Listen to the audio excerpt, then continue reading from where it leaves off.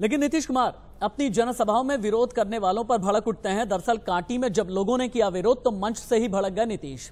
तुरंत ही विरोध करने वालों को विरोधी दल का बताते हुए लालू राबड़ी के शासनकाल की याद दिला दी और कहा कि जाकर अपने माँ बाप से पूछो उन दिनों का हाल।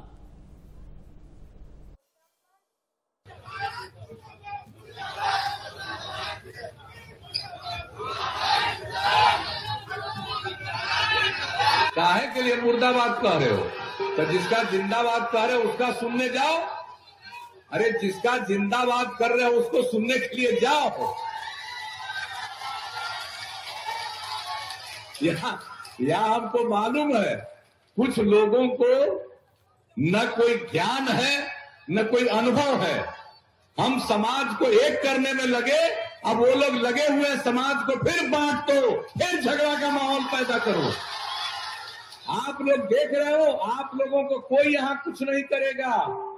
हो तुम आठ दस आदमी, और यहाँ हज़ारों लोग हैं, कोई तुमको कुछ नहीं करेंगे। कि अगर कुछ थोड़ा भी करेंगे तो तुमको लाभ मिलेगा। तो ये जान लो यहाँ पर। और जो भी सबक सिखाता है, कम उम्र के बच्चे हो, क्या हाल था?